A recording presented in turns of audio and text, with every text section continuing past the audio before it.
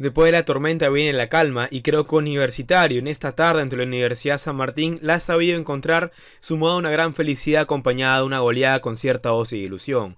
Universitario de Deportes ha goleado por 4-0 la San Martín, un partido redondo el equipo crema. El equipo dirigido por Carlos Companucci realmente se encuentra como en fútbol después de mucho tiempo.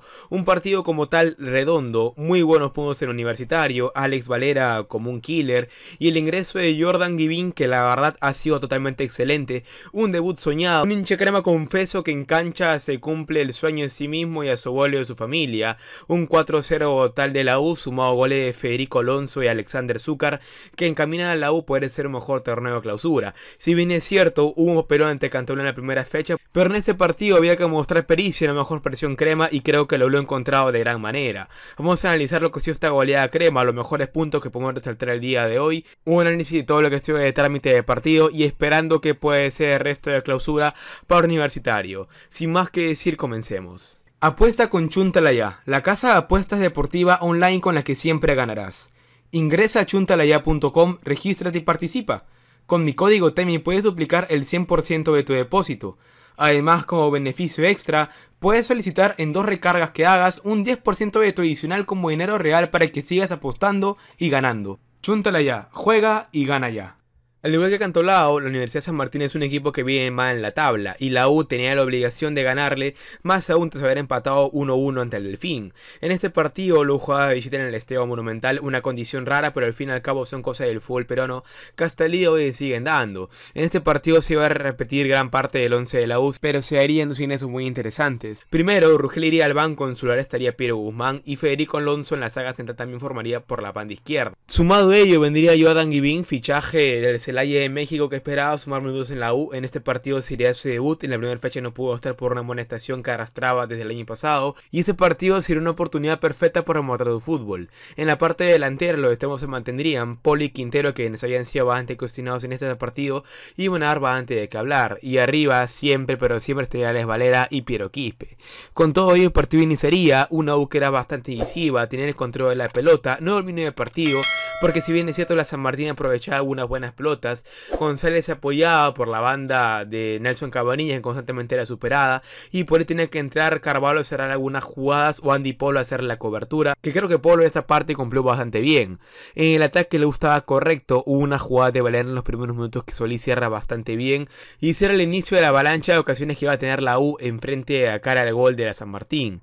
Sumado a ello, en los siguientes minutos hubo una jugada individual de Pero Quispe en asociación con Andy Polo, se le da Quispe, este inventa, este sigue, se vale la defensa de la San Martín, pero define bastante mal ante el pórtico defendido por Solís. La San Martín seguía salvando, habían algunas jugadas que pusieron en peligro al arco crema, pero bueno, cierre de Carvalho que en medio de todo fueron bastante certeros. Hubo una buena subida Aranda por la banda izquierda que lo supera fácilmente a Corso, se la ceda a Moyano, el excelenista remata, para que Carvalho le responde de gran manera casi enviándole al cor. La San Martín se da por algunos momentos pero se valía demasiado una jugada individuales o remate de lejos.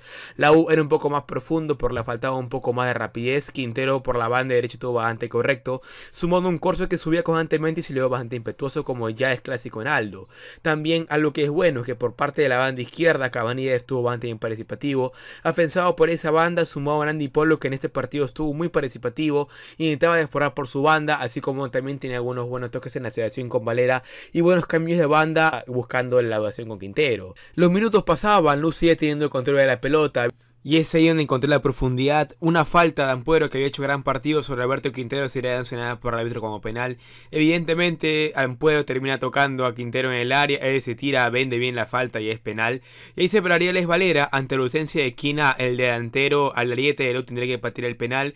Y ya un gol muy especial de Valera, quitando todo el contexto de lado, vencería a Solísima que era 1-0 para la U. Como digo, muy especial lo hecho por Valera, siendo que voy a darle confianza al 9 al fin poder patear un penal y poder decretar una conquista crema de los 12 pasos. No hacía falta comentar todo el contexto de Valera, era necesario que el goleador sume este tipo de goles a su cuenta para darle más confianza y que finalmente se quite la sal.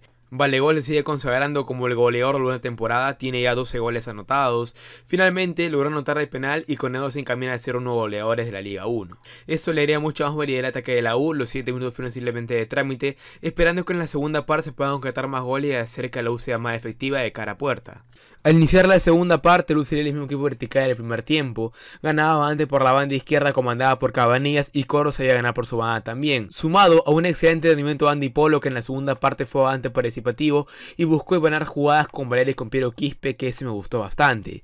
En el mediocampo de la U había una pequeña falencia que era el ingreso de Alfonso Vargo. En ese partido estuvo bastante errático y por poco se hizo expulsar el partido. Ese ahí donde el ingreso de Gerson Barreto, jugador de bajísimo nivel y que en este partido al menos pudo pasar desapercibido.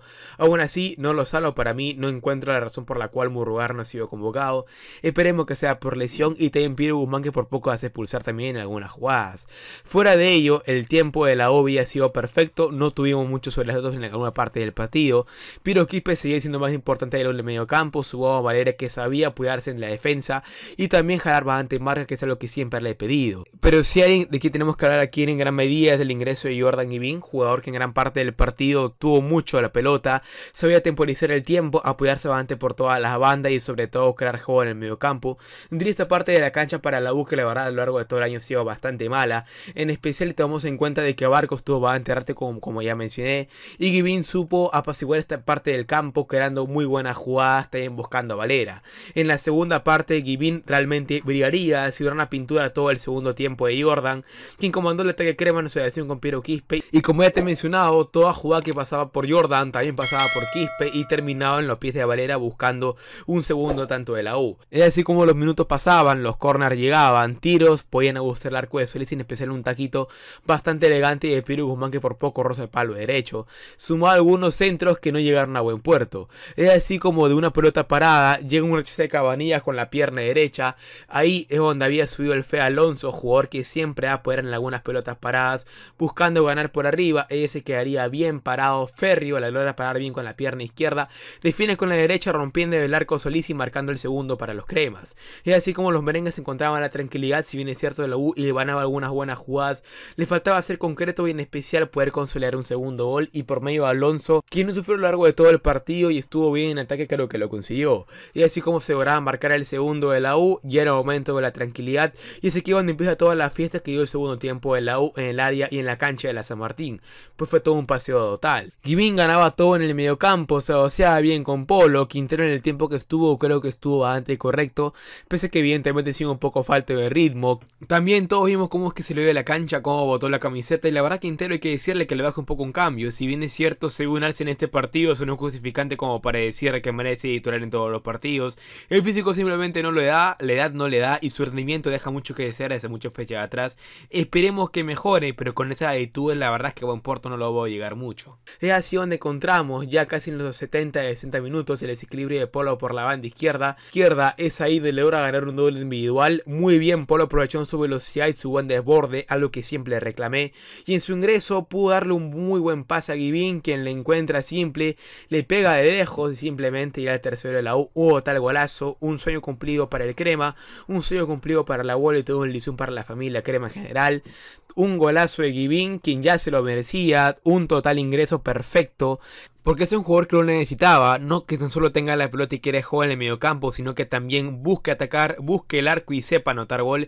Givín en su debut ya anotó un gol, supo manejar bien el mediocampo, temporizar esta parte de la cancha, no se ha sufrir bastante con ingresos malos como los de Barco y de Barreto, y sumado a ello siempre buscar el ataque, siempre buscar a Polo, buscar a Quintero, buscar a Quispe y en especial buscar una asociación con Valera conectando el mediocampo con la delantera directamente. Esto sin duda ser ilusionante, algunos cambios se haría, el ingreso de Ceballos, Santillán, Zúcar, entre otros, y es ahí donde un centro de Nelson Cabanillas, perfecto, excelente por la banda izquierda, lo encuentra Zúcar que nace la ley del ex y de cuarto para la U. Esto era una garabía total, lo marcaba 4 después de muchísimo tiempo, y era evidente de que, como se podría decir, algunos días felices volvían al recuerdo del hincha crema. Evidentemente falta mucho más, San Martín es un equipo que se dejó obligar fácilmente, creo yo. En la primera parte del partido hubo unas cosas buenas, eso es cierto, pero de ahí más, la San Martín fue un equipo bastante chato, bastante bajo. Un nivel, la verdad, que ah, para la U no sería como para medir un equipo que esté tal cual a la altura del cuadro crema. Creo que por sí plantel, entrenamiento y posición en la tabla más que la San Martín tenemos. Por lo tanto, nombre de este partido como algo muy ilusionante. Da mucho gusto ver el logo golear, ver el hostear después de tanto tiempo. Pero no podemos ilusionarnos de una y meternos de lleno con el cuento de que esto ya dice que la U es un cuadro que merece ya luchar la fase 2 con todo. Creo que cosas que todavía hay que mejorar y corregir.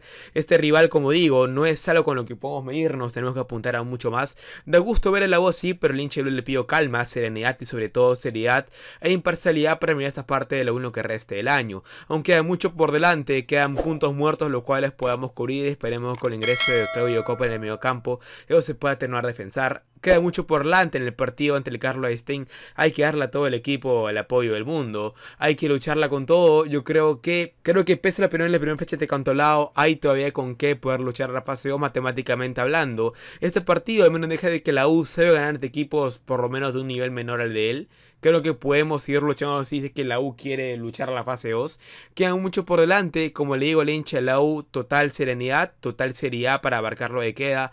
Quedan muchos partidos más y si realmente queremos ver un partido consagratorio para la U, hay que ir a la altura a ganar. Hay que luchar contra cuadros como Alianza, contra Cristal y saberles ganar y robarles puntos a los cuadros de provincia. Cuando ya eso pase, yo te podré decir que la U realmente merece estar en la búsqueda de la fase 2. Por ahora está bien que hayamos ganado, pero el hincha le pido mucha seriedad hay evidentemente que aplaudir el ingreso de Gavin, hay que aplaudir lo bien que hacen las cosas con Valera y también en las divisiones menores, pero nada más que ello, serenidad y sobre todo seriedad, pero claro está optimismo para poder afrontar lo de que el torneo que sin ello no podemos llegar a muchos lados. Antes de terminar el video, saludar a John, Gonzalo, Marcelo, Diego y Kevin, suscriptores que me fueron a seguir a mi cuenta de Instagram, me encuentras como Bajo Sevilla.